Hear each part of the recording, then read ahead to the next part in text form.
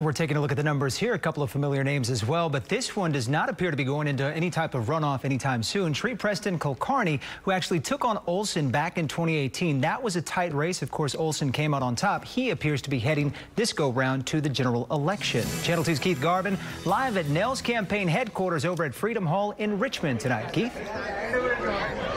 Hey there, Jonathan Dominique. No uh, saxophone here. Just a few supporters remain, but excitement was at a fever pitch when a very confident and very pleased Sheriff Troy Nehls addressed this crowd here at Freedom Hall. Nehls arrived here just over an hour ago, around 9 o'clock, and when he came through at that point, he had a commanding lead over challengers Kathleen Wall and Pierce Bush. At that point, Nehls had 45% of the vote. Wall was in second place with 18%, and Bush was tied for third place. After shaking hands, Nehls told the crowd he not only was not worried about winning the May runoff, but he predicted he would beat the Democratic candidate in November by double digits. Nehls, needless to say, is very pleased with his campaign so far.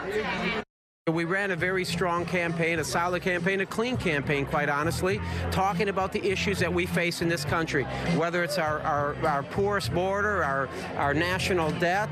Uh, we, we, just feel really, really good about where we are, and we're going to continue on with this momentum. We're going to build on this momentum uh, for this runoff, no matter who that may be.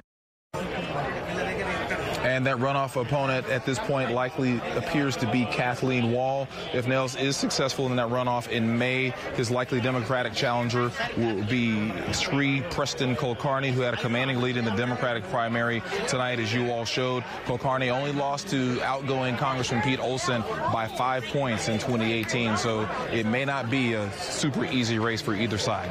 Reporting live from Richmond, Keith Garvin, KPRC Channel 2 News.